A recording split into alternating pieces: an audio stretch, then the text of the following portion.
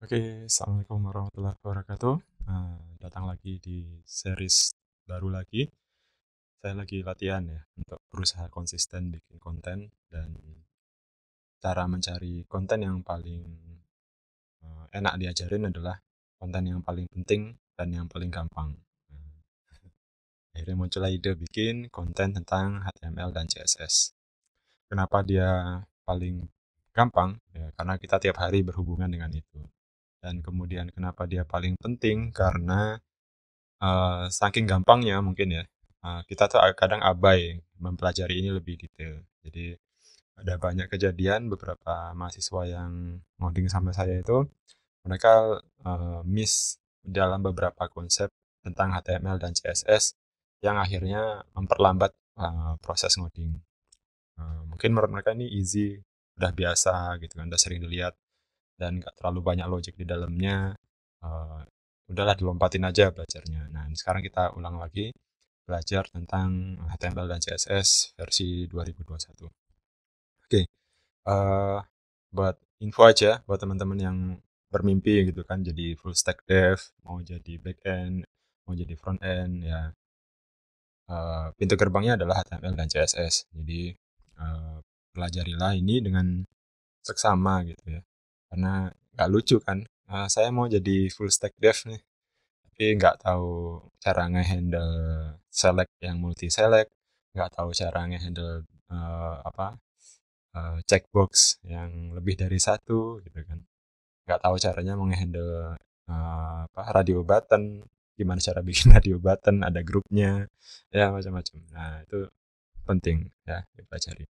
Oke okay, uh, apa aja menu kita kali ini belajarnya ini saya udah mulai buat coret-coretan ini saking sering seringnya dijelaskan dan sering bolak-balik ngomong ya akhirnya udah gini aja. Nanti kalau ada yang tanya suruh lihat video gitu. oke uh, apa sih uh, eh, HTML ini saya lagi lagi lagi apa ya lagi ada riset juga tentang learning engineering. Jadi kayak salah satu poin dari learning engineering itu mahasiswa itu membuat konsep. Nah ini saya membuat konsep sendiri. ya, kayak ada apa ya kayak ada main map atau tree konsep-konsep yang bisa dijabarkan. Nah salah satunya nih uh, HTML. Apa sih HTML dan bagaimana HTML uh, dibuat atau diproses? Pertama HTML itu apa ya? HTML itu hypertext markup language ya.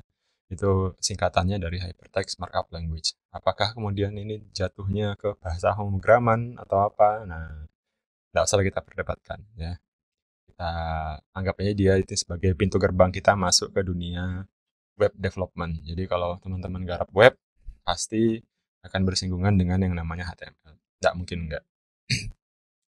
nah, uh, dari apa ya kita harus uh, beberapa pertanyaan gaya-gaya pertanyaan ilmiah itu what, how, why, when atau apa gitu. Semua semua pertanyaan-pertanyaan yang uh, terkait ya Nah, apa sih itu? Bagaimana itu? Kayak gitu. Oke, uh, sekarang pertanyaannya adalah gini, uh, gimana HTML ini diproses sehingga kita bisa lihat sebuah halaman itu uh, ditampilkan. Nah, yang teman-teman yang sudah lahir tahun 2000 atas gitu ya, itu sudah awam dengan hal kayak gini. Bahwa teman-teman sering buka browser, uh, mungkin browsernya lagi bertarung gini ya, ada yang Edge, ada yang Chromium base. Edge ini eh, Chromium base ini sebenarnya Edge juga based on Chromium. Uh, tapi ini dari Windows. Si Chrome ini nanti dia punya bangsa sendiri gitu ya. Ada Firefox, ada Opera, ada Safari. Jadi uh, ada macam-macam browser yang tugasnya itu adalah mentranslate halaman HTML itu menjadi sebuah tampilan. Nah, tampilannya itu bagaimana? Ya si browser inilah yang melakukan proses translate.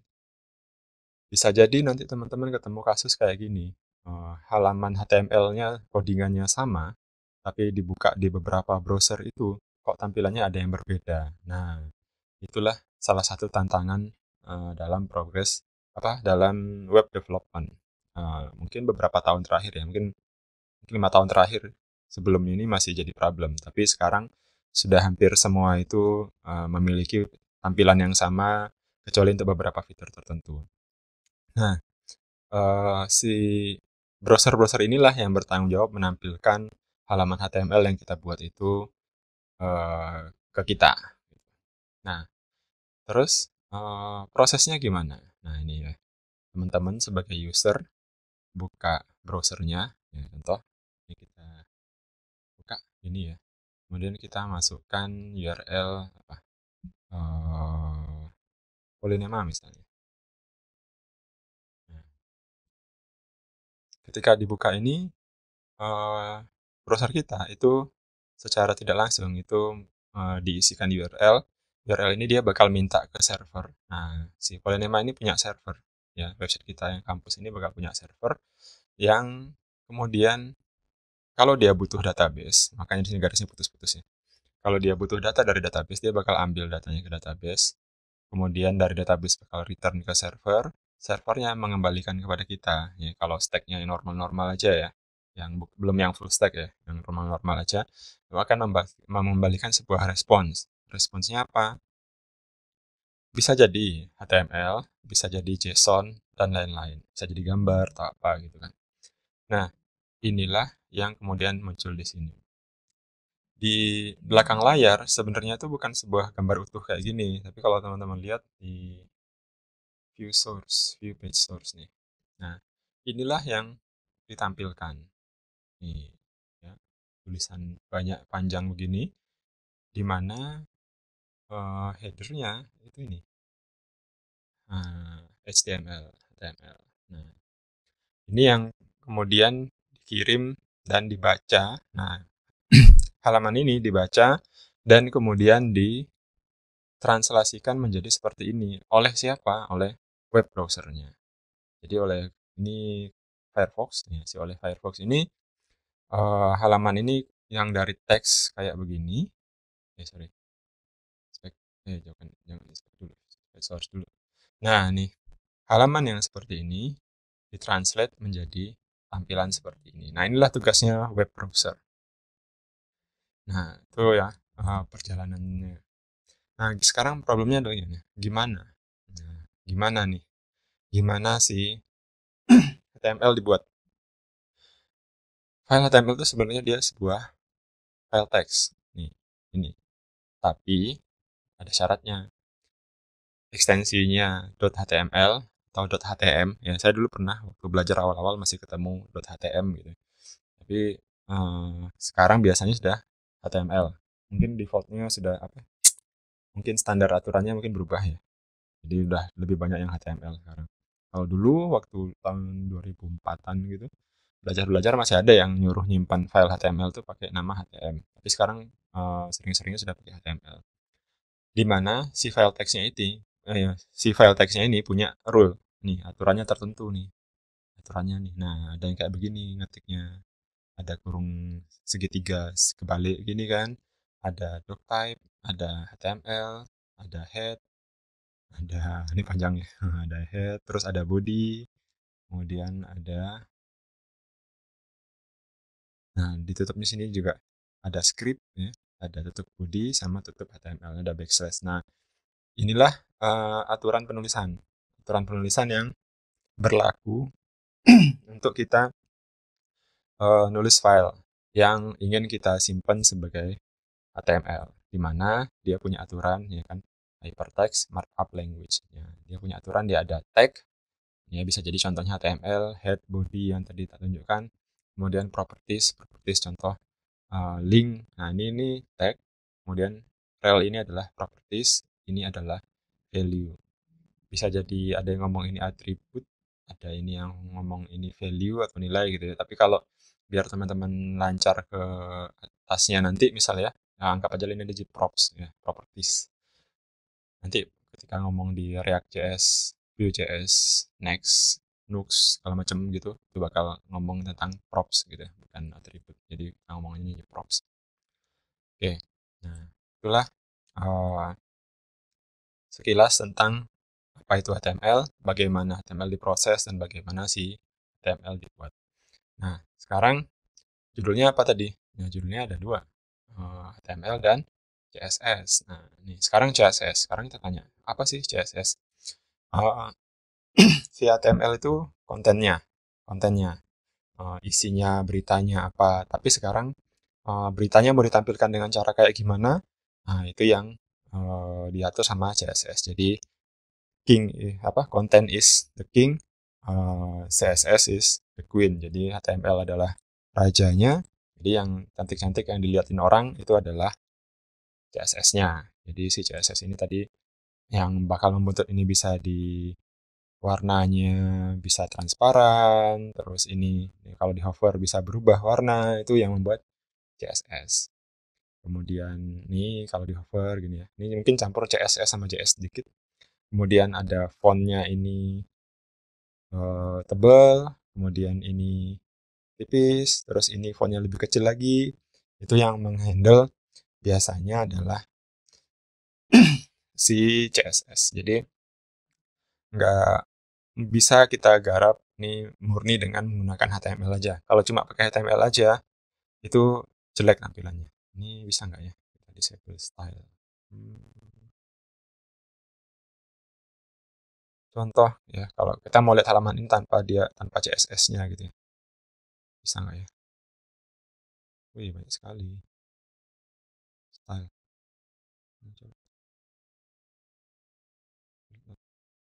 Apa yang terjadi? Oh, kurang. Uh, mungkin kita delete aja sampai atas. Ini ya. Nah, ini namanya inspect element, guys. Nanti kalau kaget. Delete. Oh, nggak bisa di blok terus delete. Coba ya. Oh, nggak bisa.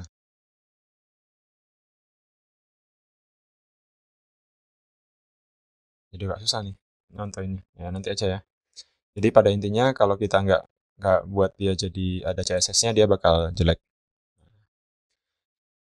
Terus uh, gimana cara membuat CSS? Uh, CSS-nya bisa jadi ada yang inline dan ada yang eksternal.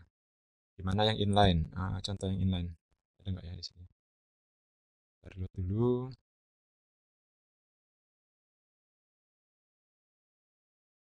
Inline CSS ada nggak ya? Style. Oh, banyak sekali. Oh, nggak ada yang inline di sini. Nah, oh nggak ada. Tidak ada.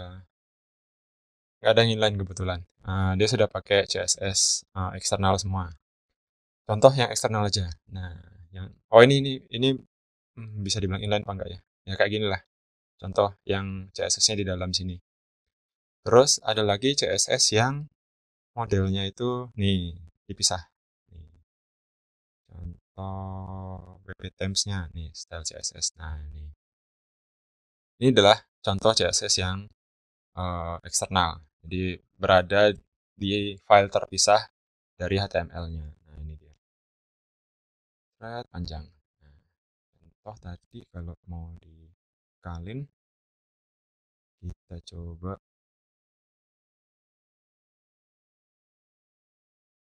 style apa ini?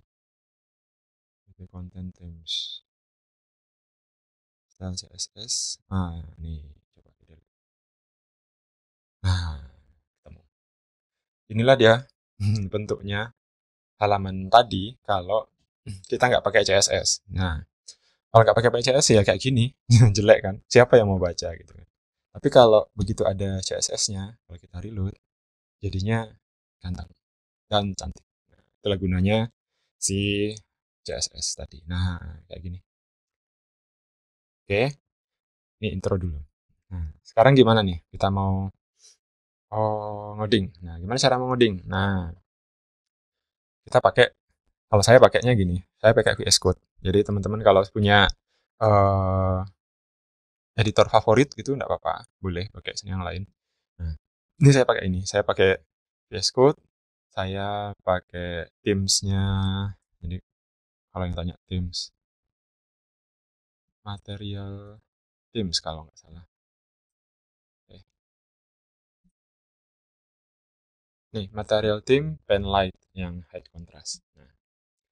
kemudian uh, ada beberapa hal yang tak konflik di sini ya. Nah contoh sekarang kita mau buat uh, halaman HTML gimana cara membuat halaman HTML di awal ya kita lihat aja tadi. Main mapnya nih ya. Konsep mapnya tadi kita lihat nih. Filenya namanya .html atau .htm. Nah, best praktisnya sih kalau mau membuat file itu di buat file .index.html. Nah, ketika di HTML kan nanti kita pakai nih yang namanya uh, nah ini loh emet nah, nanti kita kasih tahu. Nah setupnya nih kayak begini nih. Satu halaman uh, eh, HTML uh, eh, standar terus sekarang kalau uh, kita mau ngoding nah apa sih yang perlu dilakukan di halaman HTML ini ini dia jadi kita punya tag HTML-nya kita punya head-nya dan kita punya body-nya ini adalah standar template untuk satu halaman HTML. Sekarang kalau mau kita preview, mau kita lihat hasilnya di browser kayak gimana, teman-teman bisa pakai yang namanya live server.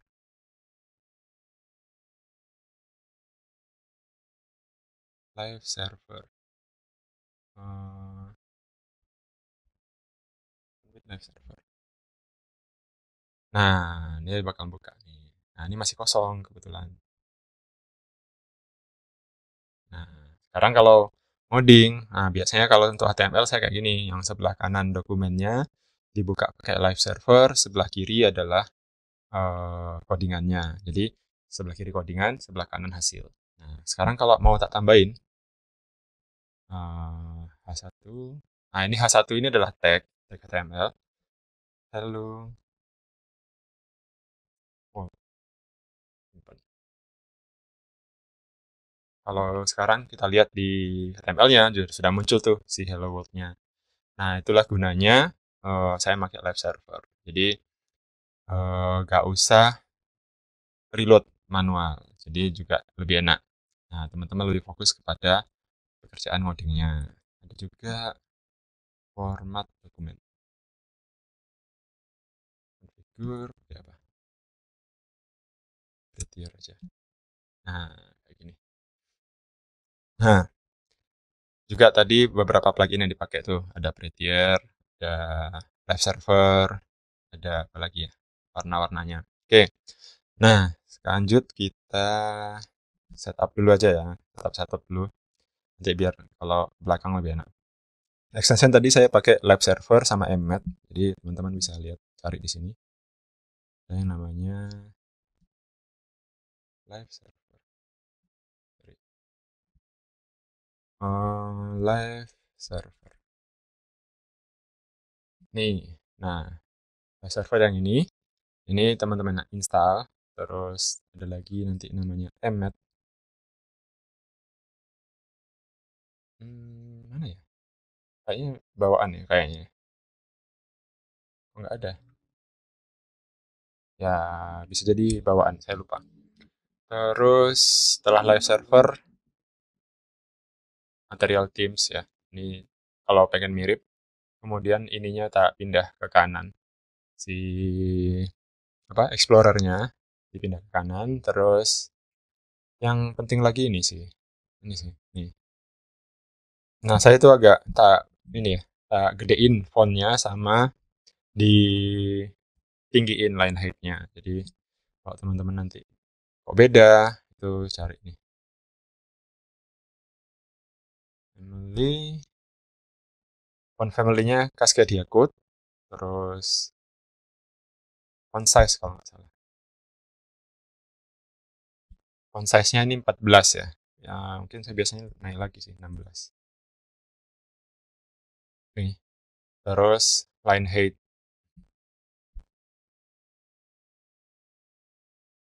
ini pakai dua dua mungkin lebih enak dua setengah Nah, ini kayak gini. Kenapa fontnya pakai gini, digedein dan dibenggangin gini? Uh, ini personal preference saja sih. Cuma kalau buat ngajar, buat belajar awal itu bagus. Jadi uh, lebih jelas, kelihatan problemnya di mana. Karena kalau kadang terlalu kecil gitu, kamu tuh nggak teliti ngeliatin, oh ini ada error apa enggak itu, headnya ketutup apa enggak itu nggak kelihatan. Nah, ini saya udah setup kayak gini. Terus nanti juga membiasakan diri kalau masuk ke bagian codingan. Karena kalau codingan itu terlalu panjang ya, biasanya kalau saya melihat codingan ini terlalu panjang sampai beberapa baris ke bawah gini, da, harus nge-scroll satu fungsi itu biasanya tak potong lagi. Jadi kayaknya ini codingan terlalu panjang, ini nggak sederhana, tanda-tanda lah. Nah, itu dulu uh, cerita tentang HTML dan CSS-nya. Besok kita bisa lanjut lagi bikin video selanjutnya. Nah, ini adalah intro saja. Jadi, tapi ini adalah ini guys, uh, pintu gerbangnya kalau kita mau jadi uh, full stack dev, front end dev, back end dev ya tetap aja harus tahu si HTML. Jadi kalau kita mau bergelut di dunia web, kita akan tetap harus menggunakan HTML. Oke, uh, sampai jumpa di next video. Semoga bermanfaat. Assalamualaikum warahmatullahi wabarakatuh. Oke, jangan lupa di like, di share, subscribe.